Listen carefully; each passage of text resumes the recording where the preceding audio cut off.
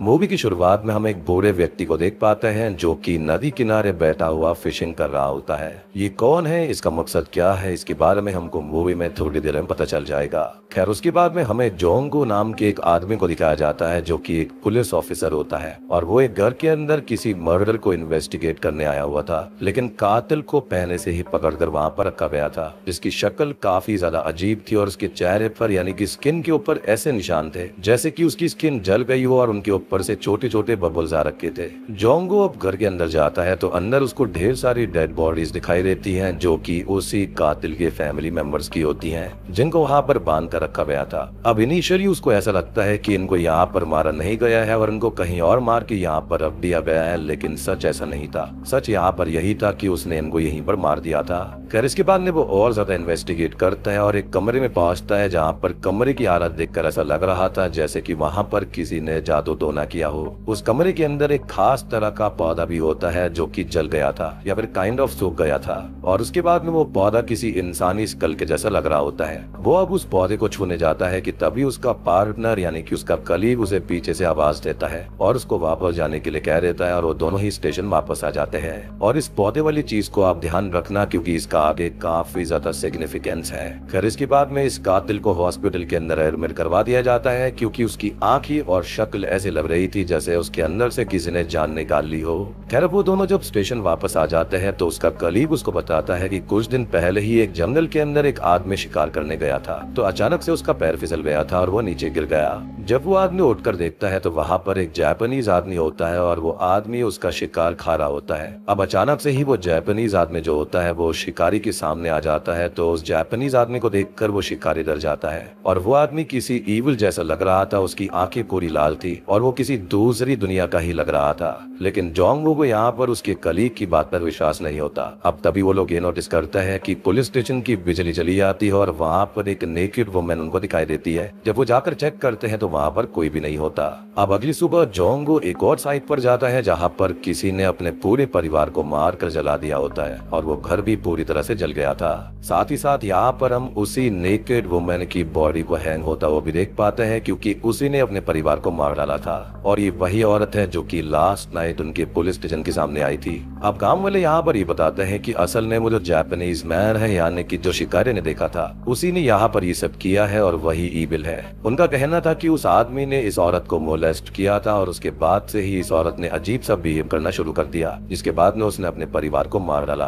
और ये Japanese man कोई और नहीं, बल्कि वही बुरा आदमी है जो की हमको मूवी की स्टार्टिंग में फिशिंग करते हुए दिखाया गया था। खैर, अब जोंगू उस घर को इन्वेस्टिगेट करके घर के बाहर बैठ जाता है और तभी वहाँ पर एक लड़की आती है जो कि बताती है कि इस परिवार को मारा गया है, वो उस परिवार को जानती थी। और वो लड़की ये भी बोलती है कि वो जापानीज आदमी कोई इंसान नहीं, बल्कि शैतान है और उसी ने पूरे परिवार को मारा है। वो लड़की जोंगू को अपने साथ घर के अंदर लेकर जाती है और एक एक सीन को ऐसे डिस्क्राइब करती है जैसे कि उसको सब कुछ पता हो। वो ये कहती है कि उसने सब कुछ अपनी आँखों से देखा था। इनफैक्ट वो जोंगू को ये भी कहती है कि क्या उसने उस जापानीज मैन को अपने आसपास देखा है, जिस पर जोंगो हाँ बोल देता है। तो वह लड़की बोलती है कि उसे अपना और अपने परिवार का ध्यान रखना चाहिए, क्योंकि जो इस परिवार के साथ में हुआ, वो जोंगो के साथ भी हो सकता है। और हो सकता है कि जापानीज मैन का अगला शिकार हो या उसकी फैमिली हो, क्योंकि वो उन्हीं को बार बार दिखाई देता है जिनके पीछे वो पड़ जाता है। और सबसे बड़ी बात ये कि यहाँ पर भी वही प्लान होता है जो कि हमने मूवी में कई जगह पर देख रखा है। अब वो उस लड़की से और सवाल पूछने ही वाला था कि तभी जोंगो के पास में एक फ़ोन आ जाता है और वो बाहर चला जाता है। फ़ोन सुनने के बाद में जब वो वापस आता है तो वो लड़की वहाँ पर थी नहीं। और इस लड़की का नाम मो मियाओ होता है जिसका कोरियन में मीनिंग होता है नो नेम खैर, अब तभी जोंगो को घर के पीछे से कुछ आवाज़ सुनाई देती है और वो जब घर के पीछे जाता है तो वही जापानीज आदमी किसी को खड़ा होता है। अब जोंगो इसे डर जाता है और वहीं पर गिर पड़ता है, जिसके बाद में वो जापानीज आदमी उस पर अटैक करने लगता है। लेकिन तभी उसकी आँख खुल जाती है, क्योंकि वो सिर्फ़ एक सपना देख रहा था, या फिर ये सपने से ज़्यादा कुछ और था। खैर, अगली सुबह जोंगू की बेटी ह्योजन की तबीयत खराब हो जाती है और वो उसे माइल भी वो समझता है और अपनी जॉब पर आ जाता है। और जैसा की मोमियाम ने बताया था कि जापानीज आदमी जिस किसी को भी बार बार दिखाई देता है, वो उनके ही परिवार के पीछे होता है। और यहाँ पर चीज़ें अजीब होना शुरू हो गई थी। और यहाँ पर एक चीज़ और थी कि जब जोंगो और यहाँ पर उसकी बेटी ह्योजिन फिशिंग के लिए गए थे तो नदी के दूसरी पार वही जापानीज आदमी दिखाई देता है। और मेरे ख्याल से यही मूवी के स्टार्टिंग वाला सीन था, जहाँ पर वो अपने अगले शिकार के ऊपर नज़र रख रहा था। खैर, अब वो भी उस जापानीज आदमी को ढूंढना चाहता था और वो उस आदमी को बुलाता है, जिसने शिकार करते समय उस जापानीज आदमी को देखा था। वो आदमी उसको और उसकी टीम को उस जगह पर लेकर जाता है। वो अभी उस स्पॉट पर पहुँचे ही होते हैं कि तभी मौसम खराब होने लगता है और उस शिकारी के ऊपर अचानक से ही बिजली गिर पड़ती है और वो घायल हो जाता है क्योंकि बहुत ही ज़्यादा अजीब बात थी, क्योंकि वो उस ओल्ड मैन यानी कि जापानीज मैन के घर के पास पहुँचने ही वाले थे। यानी कि यहाँ पर गड़बड़ तो काफ़ी है। खैर, तभी वहाँ पर जोंगो उसको हॉस्पिटल में एडमिट करवा देता है। अब उसी हॉस्पिटल के अंदर वही आदमी होता है जिसने स्टार्टिंग में अपने परिवार को मार दिया था। यानी कि सबसे पहला केस जो था, इस आदमी की बॉडी पर अजीब से निशान थे। अब उस शिकारी को देखते ही वो कातिल अपने आप ही तड़पने लगता है और अजीब सा रिएक्ट करता है। उसकी बॉडी जो होती है, उसके अंदर के बोन्स अपने आप ही ट्विस्ट होने लगता है और अजीब सी हरकतें वो करता है। उसके मुँह से ढेर सारा खून आने लगता है और उसकी बॉडी ट्विस्ट हो जाती है, जिससे वो मारा जाता है। अब ये सब देखकर उसे कुछ भी समझ में नहीं आता और जोंगो अपने घर पर वापस आ जाता है। घर पर वो ये देखता है की उसकी बेटी भी उसी कातिल की तरह रिएक्ट कर रही होती है और ये देखकर वो बहुत ही ज़्यादा डर जाता है, क्योंकि वो बहुत ही ज़्यादा गंदी गंदी बातें और बहुत ही ज़्यादा गुस्सा कर रही थी। जिसके बाद में वो अपनी बेटी को गोद में लेता है और उसके बाद वो थोड़ी शांत होती है। अब इसी रात के बाद जोंगो की बेटी ह्योजन की हरकतें बिल्कुल बदल जाती है। वो अजीब बिहेव करने लगती है और वो एबनॉर्मल तरीके से खाना खाने लगती है। वो फ़िश खाने लगती है जो की उसको बिल्कुल भी अच्छी नहीं लगती थी। और आपने नोटिस करा होगा की जापानीज मैन भी यहाँ पर फिशिंग किया करता था। तो यानी की यहाँ पर वो कुछ ना कुछ गड़बड़ ज़रूर कर रहा है। अब ये देखकर जोंगू की जो मदर इन लॉ होती है, वो जोंगू से ये बोलती है कि उसे ये लगता है कि उसकी बेटी पर किसी शैतानी आत्मा का साया है। तो उनको किसी तांत्रिक को बुलाना चाहिए जिस पर यहाँ पर वो हाँ कर देता है। आई मीन उसको इस तरह की चीज़ों पर पूरा विश्वास तो नहीं था, लेकिन अपनी बेटी की हेल्थ के लिए वो मान जाता है। खैर, अब जोंगू वापस अपनी इन्वेस्टिगेशन शुरू करता है और उसको एक आदमी मिलता है जो की पेशे से एक प्रीस्ट होता है। वो एक कोरियन आर्मी था, लेकिन उसको जापानीज भाषा आती होती है। अब वो और प्रीस्ट उस जापानीज आदमी के घर जाते हैं जो की जंगल के बीचों बीच में होता है। वहाँ पर जापानीज आदमी नहीं था और ये देखकर जोंगो और प्रीस्ट घर के अंदर चले जाते हैं और अंदर जाकर जोंगो ये देखता है कि उसके घर में उन सभी लोगों के फ़ोटोज़ थे जो कि मारे गए थे। वो एक दूसरे कमरे में जाकर देखता है तो वहाँ का नज़ारा देखकर वो डर जाता है। उस कमरे के अंदर काला जादू का सारा सामान था और ऐसा लग रहा होता है कि अभी यहाँ पर कोई रिचुअल होने वाला है और इतने में ही वो जापानीज आदमी वहाँ पर आ जाता है। उस आदमी के पास में एक काला कुत्ता भी होता है और जोंगो और प्रीस्ट जापानीज आदमी को देखकर डर जाते हैं और वहाँ से भागने लगते हैं और बहुत मुश्किल से अपनी कार तक पहुँचते हैं। कार के अंदर बैठकर प्रीस्ट जोंगो को बोलता है कि उसे लगता है कि जापानीज का अगला शिकार जोंगो का परिवार है, क्योंकि उसे जापानीज के घर के पास एक जूता मिला होता है, जो कि जोंगो की बेटी का ही था। खैर, वो अपने घर पहुँचता है और सीधा अपनी बेटी के पास में जाता है और उससे उस जापानीज यानी कि ओल्ड मैन के बारे में पूछता है। लेकिन यहाँ पर स्ट्रेंजली वो उसके बारे में कुछ भी जानने से मना कर देती है, जबकि वो जो शो होता है, उसके ऊपर यहाँ पर ह्योजिन का ही नाम लिखा हुआ था। अब ज़्यादा पूछने पर उसकी बेटी काफ़ी ज़्यादा गुस्सा करने लगती है और अजीब बिहेव करती है। वो किसी तरह से उसको शांत करता है और जब रात को उसकी बेटी सो रही होती है तो जोंगू जाकर नोटिस करता है कि क्या उसकी बॉडी के ऊपर कोई मार्क है या फिर नहीं तो वहाँ पर वो उसकी बॉडी पर देखता है कि उसकी ताई के ऊपर वैसे ही निशान होते हैं जैसे कि शुरुआत में उस कातिल की बॉडी पर थे, जो कि हॉस्पिटल के अंदर अजीब सरकमस्टेंसेस के चलते मारा गया था। यानी कि कहीं ना कहीं जोम्बू समझ गया था कि यहाँ पर कुछ ना कुछ गड़बड़ है। और ऐसा करने पर उसकी बेटी बहुत ही ज़्यादा गुस्सा करती है और बहुत ही गलत शब्दों का इस्तेमाल करती है, जो कि वो कभी भी नहीं किया करती थी। अब अगले दिन जोंगो एक बार फिर से उस जापानीज ओल्ड मैन के घर जाता है और घर पहुँचते ही उसे वहाँ पर कुछ भी नहीं मिलता। वहाँ पर कोई भी फ़ोटो नहीं होती और वहाँ पर जापानीज मैन का कुत्ता होता है, जो कि उस पर हमला कर देता है। यानी कि यहाँ पर सारे के सारे सबूत मिटा दिए गए थे। जोंगो अब गुस्से में उसको मार देता है और इतने में ही वहाँ पर जापानीज आदमी आ जाता है। अब वो उसको धमकी देता है की अगर वो तीन दिनों के अंदर इस गाँव से बाहर नहीं गया तो वो उसको मार डालेगा। जिस पर हम यहाँ पर ये नोटिस करते हैं कि ओल्ड मैन कोई भी रिएक्ट नहीं करता। जिसके बाद में जोंगू वहाँ से चला जाता है। अब आपका सोचना ये होगा कि यहाँ से सारे सबूत गायब कहाँ हो चुके हैं। तो इसके बारे में हम थोड़ी देर में जान लेंगे, जो कि काफ़ी शॉकिंग होगा आपके लिए। एनीवेज अब जॉन वो अपने घर पहुँच जाता है और सो जाता है, जहाँ पर उसकी वाइफ होती है, उसकी मदर इन लॉ होती है और उसकी बेटी यूजन होती है। यानी कि उसकी फैमिली के अंदर फ़िलहाल चार लोग थे। अब अगले दिन जब वो सुबह सोकर उठते हैं तो वो ये नोटिस करते हैं कि उनके घर के बाहर एक मरा हुआ गोट टंगा हुआ था।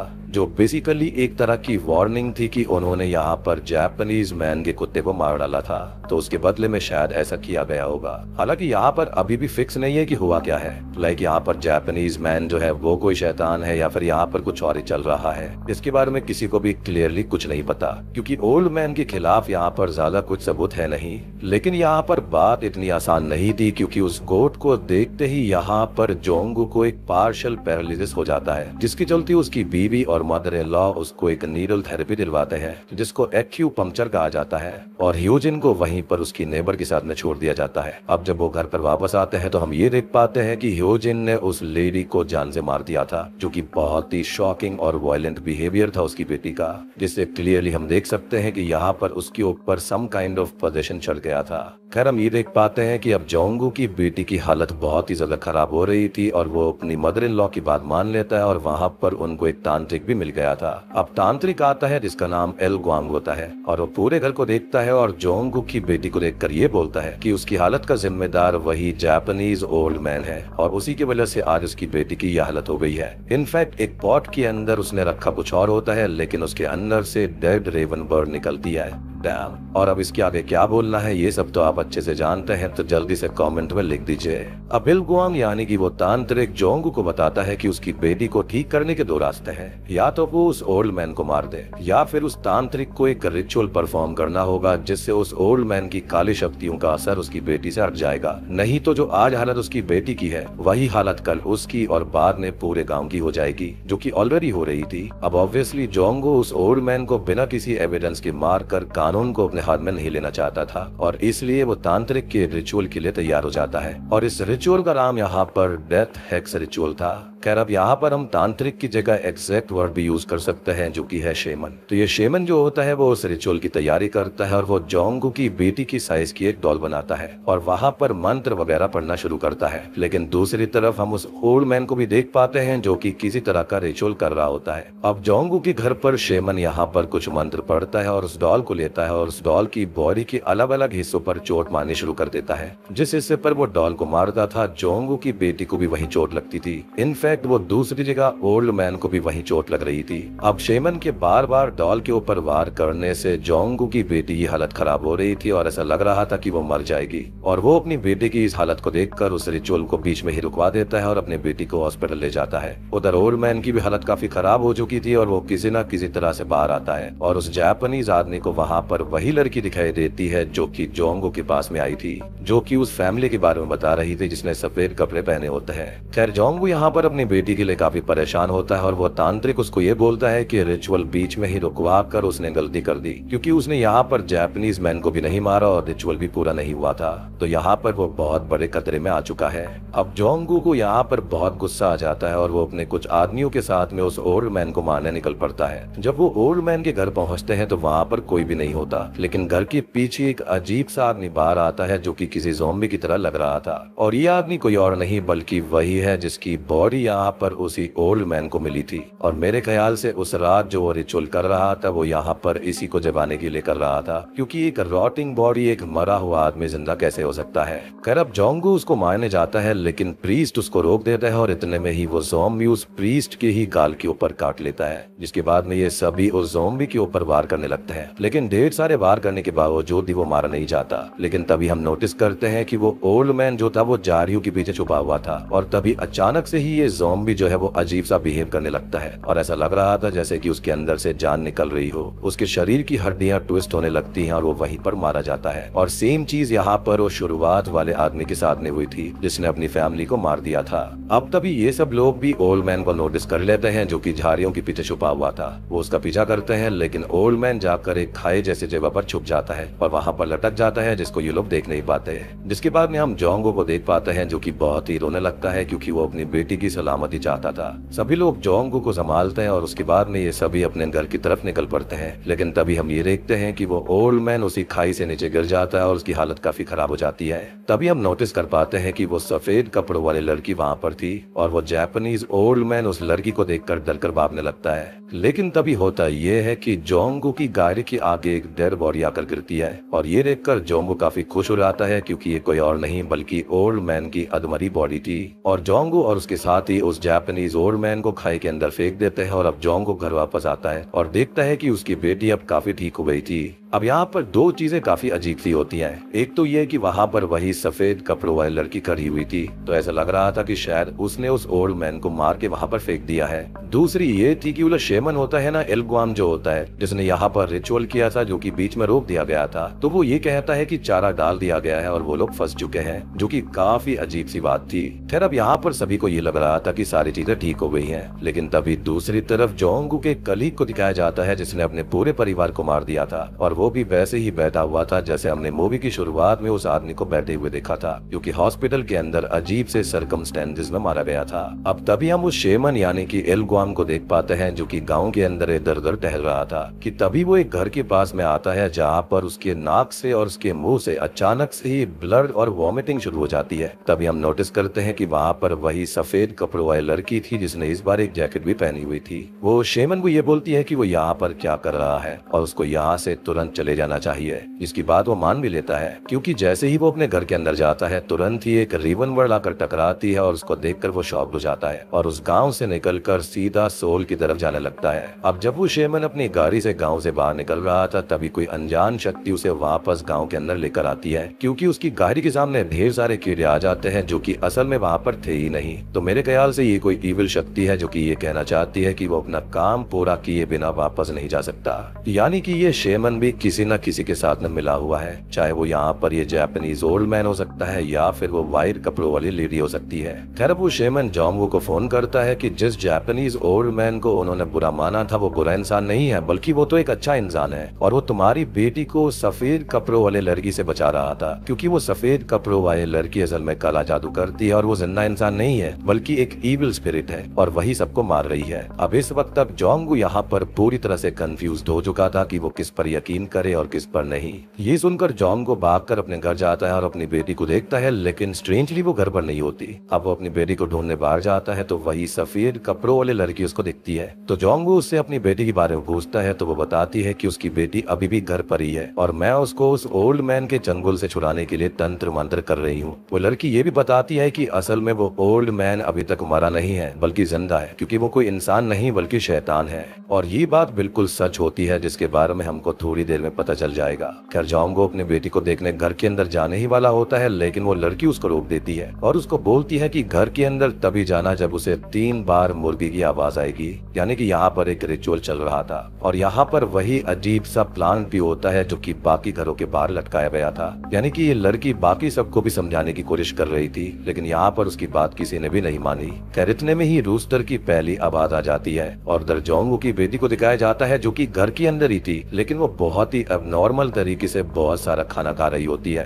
और तभी वो किचन में रखे हुए चाकू को देखती है। खैर, तभी हमें दूसरी तरफ़ उस प्रीस्ट को दिखाया जाता है जो कि अब ठीक हो गया था। अब उसको विजन सारे लगते हैं जहाँ पर वो आदमी यानी कि ओल्ड मैन अभी भी ज़िंदा है और वो सबको मारना चाहता है। खैर, अब प्रीस्ट उठकर उसी जगह पर पहुँच जाता है जहाँ से उन्होंने उस जापानीज को नीचे फेंक दिया था। अब वो धीरे धीरे खाई के अंदर उतरने लगता है तो उसे एक जगह पर गुफा दिखाई देती है और प्रीस्ट उस गुफा के अंदर चला जाता है। वहाँ पर वही ओल्ड मैन बैठा होता है जो कि गुफा के अंदर ही तंत्र, मंत्र और काला जादू कर रहा होता है। मीन माइल हमें जोंगू को दिखाया जाता है जो कि अपने घर के बाहर ही खड़ा होता है। और तभी उसके पास में उस शेमन का फ़ोन आता है जो कि उसको ये बोलता है कि वो सफ़ेद कपड़े वाली लड़की असल में शैतान है, जो कि झूठ बोल रही है। और तुम उसकी बात बिल्कुल ही मत मानना। और जोंगू इतना सुनने के बाद ही बहुत ही ज़्यादा कंफ्यूज होकर घर के अंदर चला जाता है। और अचानक ही हम देख पाते हैं कि वो जो फ्लावर्स होते हैं, वो जो ब्लॉसम हो चुके थे वो अचानक से सूखने लगते हैं, जो की क्लियरली इंडिकेट करता है की यहाँ पर जोंगू ने बहुत बड़ी गलती कर दी है। अब अंदर जाकर वो देखता है तो उसकी बेटी ने उसके पूरे परिवार को मार दिया था, यानी कि उसकी वाइफ को और उसकी मदर इन लॉ को।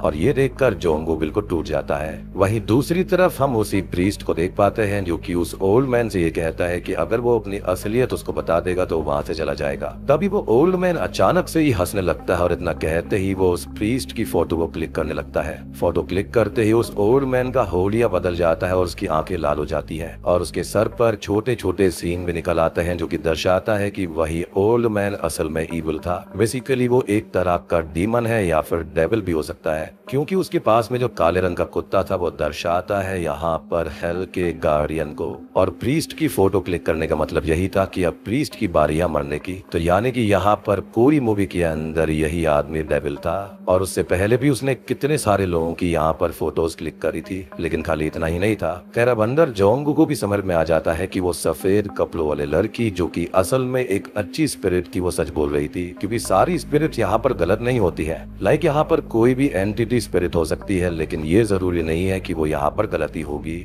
और यहाँ पर जितने भी घर थे स्टार्टिंग से अब तक, वहाँ पर यही काइंड ऑफ़ प्लांट हमने देखा था जो की मुरझा गया था। तो वहाँ पर भी लोगों ने उसकी बात नहीं मानी होगी और यहाँ पर सब मारे गए होंगे। अगर यहाँ पर जोंगू उसकी बात मानता तो वो बच जाती। यानी कि जैसे ही उसने उस घर के अंदर एंट्री ली, उसी वक्त यहाँ पर उसकी लड़की ने सबको मार दिया। उससे पहले वो वहाँ पर रुकी हुई थी। अब आप ये बोलोगे कि जोंग को अंदर वो क्यों नहीं दिखाई दी थी? तो यहाँ पर उसके ऊपर उस डीमन का साया था और उसने अपनी शक्ति से यहाँ पर शायद से सबको अदृश्य कर दिया होगा या फिर जोंग की आँखों में कुछ जोक दिया होगा। इसके चलते उसको कुछ भी दिखा नहीं होगा। जैसा की मैंने आपको बताया की वहाँ पर वो तंत्र मंत्र कर रहा था। यहाँ पर वो सफ़ेद कपड़ों वाली लड़की जो थी, जिसका नाम वो म्यांग था, यानी कि नो नेन वो उसकी बेटी को बचाना चाहती थी। जिसके बाद में हम उसी को जोंग के बाहर निराश होकर बैठा हुआ देख पाते हैं, क्योंकि वो जंग हार चुकी थी। बात करें जोंगू के बारे में तो वो भी समझ गया था कि वो भी अपनी बेटी को और अपने परिवार को अब खो चुका है।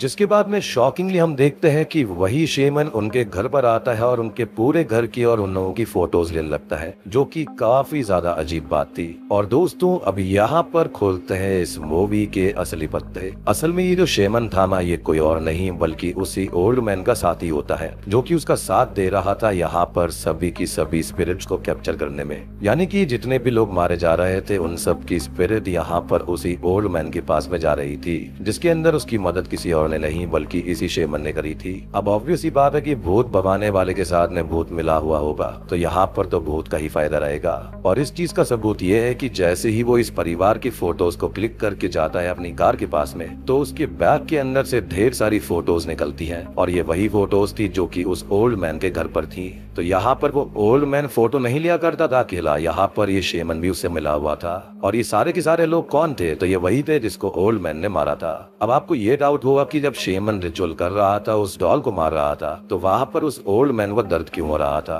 तो असल में यहाँ पर ऐसा कुछ भी नहीं था। शेमन और वो जो ईविल था, वो यहाँ पर इसकी बेटी को ही मार रहा था और उसकी सोल को कैप्चर करने की कोशिश कर रहा था, ताकि वो और भी ज़्यादा पोजेशन में आ जाए। लेकिन यहाँ पर उस जापानीज ओल्ड मैन को दर्द इसलिए हुआ था क्योंकि वहाँ पर वो सफ़ेद कपड़ों वाली लड़की जो थी, यानी कि वो जो स्पिरिट थी, वो उसके ऊपर तंत्र मंत्र कर रही थी ताकि वो इसको खत्म कर पाए। लेकिन अनफॉर्चुनेटली ये इविल स्पिरिट बहुत ही ज़्यादा ताकतवर निकली। मूवी के आखिरी सीन में हम देख पाते हैं कि सभी लोग हार जाते हैं और वो ओल्ड मैन जो कि अब डेविल यानी कि इविल बन चुका है, वो जीत जाता है। और इस मूवी का एक डिलीटेड सीन भी है, जहाँ पर हम ये देखते हैं कि वो जो आदमी होता है यानी कि शेमन होता है, वो अपनी गाड़ी से बाहर जा रहा होता है, यानी कि शहर से बाहर जा रहा होता है। तभी हम देखते हैं कि वही ओल्ड मैन वहाँ पर आता है और ये दोनों साथ बैठकर सोल की तरफ़ निकल जाते हैं, यानी कि अपने नए शहर की तरफ़, नए शिकार की तरफ़। और वो जो यहाँ पर सफ़ेद कपड़ों वाली लड़की, यानी कि स्पिरिट होती है, वो दुख में इस चीज़ को देखती रहती है, क्योंकि यहाँ पर ये चीज़ रुकने नहीं वाली थी।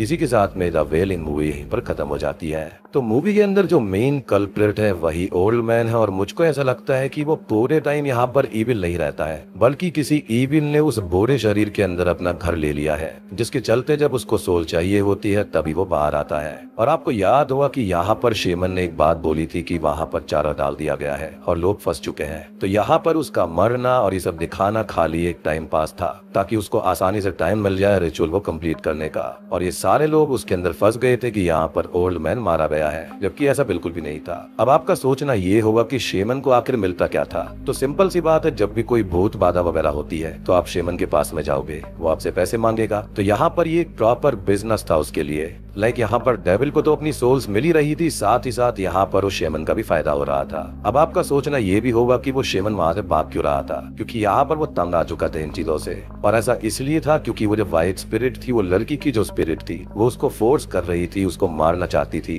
क्योंकि उसने भी गलत में साथ दिया था। तो उसको ये लगा कि यहाँ से भागना ही ठीक होगा, लेकिन तभी यहाँ पर उस ओल्ड मैन ने, यानी कि इविन ने उसको वहाँ जाने से रोक दिया, वो वहाँ से जा ही नहीं पाया। सिंपल सी बात है, वो भी यहाँ पर बाउंड हो चुका है और उसको उसका साथ देना पड़ेगा। मुझे लगता है कि उसने यहाँ पर डेविल के साथ में कोई डील वगैरह कर ली होगी। और सबसे बड़ी बात ये कि उसने जोंग से इस काम के लिए यानी कि रिचुअल करने के लिए टेन ग्रैंड मांगे थे, जो कि काफ़ी ज़्यादा होते हैं। अब सोचो कि एक गाँव के अंदर अगर सौ लोग ऐसे हैं और उसने टेन ग्रैंड सबसे ले लिए तो वो तो रातों रात अमीर बन जाएगा। और इन दोनों का ही यही प्लान रहता था। डेविल को अपने सोल मिल जाती है और इसको अपना पैसा मिल जाता है। तो दोस्तों, उम्मीद करता हूँ कि आपको ये साउथ कोरियन हॉरर मूवी पसंद आई होगी और साथ ही साथ रिलेटेड सीन भी आपको पसंद आया होगा। वीडियो पसंद आई है तो लाइक कर देना। चैनल के ऊपर नए हैं तो सब्सक्राइब कर लीजिए।